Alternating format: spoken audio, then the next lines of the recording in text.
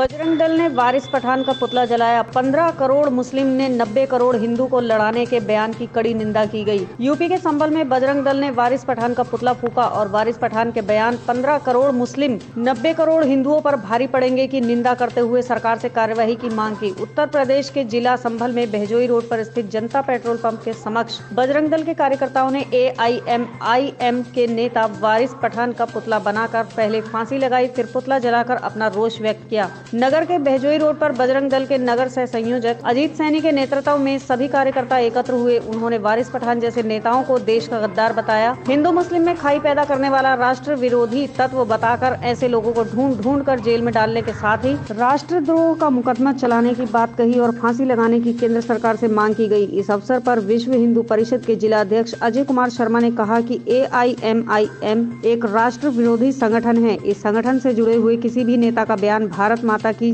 जय जयकार करने के लिए नहीं आता। A I M I M की मीटिंग में सभाओं में पाकिस्तान जिंदाबाद के नारे बोले जाते हैं। ऐसे में आवश्यक है कि ऐसे संगठनों पर तुरंत पाबंदी लगाई जाए और इससे जुड़े सभी नेताओं को जेल में डाला जाए। उन्होंने वारिस पठान के इस बयान पर कि 15 करोड़ मुस्लिम 90 करोड़ हिंदुओं पर भारी पड़ेंगे की कड़ी भतर्सना करते हुए कहा कि हिंदू समाज का प्रतिनिधित्व करने वाला संगठन विश्व हिंदू परिषद ऐसे बयान के लिए वारिस पठान को कभी माफ़ नहीं करेगा और ऐसे गद्दार भारतवर्ष के जिस कोने में, जिस गली में जहाँ भी होंगे चुन चुन कर उन्हें गद्दार मानकर, आतंकी मानकर, उनके विरुद्ध कठोर कानूनी कार्रवाई करने के लिए सरकार से मांग कर एम के नेता बारिश पठान ने जिस प्रकार से ये कहा कि 15 करोड़ मुसलमान इस देश के 90 करोड़ हिंदुओं पर भारी पड़ेंगे। इस चीज़ की कड़ी भर्सना की जाती है और पठान इसके नाम के आगे लिखा हुआ है। पठान तो बड़े सच्चे और बड़े अच्छे व्यक्ति होते हैं, लेकिन इस नमक हराम ने जिस प्रकार से हिंदू और मुसलमानों को लड़ाने का एक काम किया है हिंदुओं के लिए खुली चेतावनी दी है।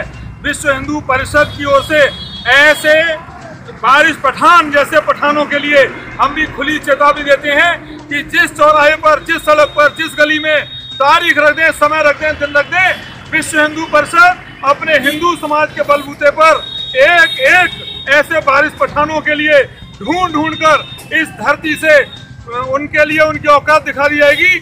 उनके लिए सबक पढ़ा दिया जाएगा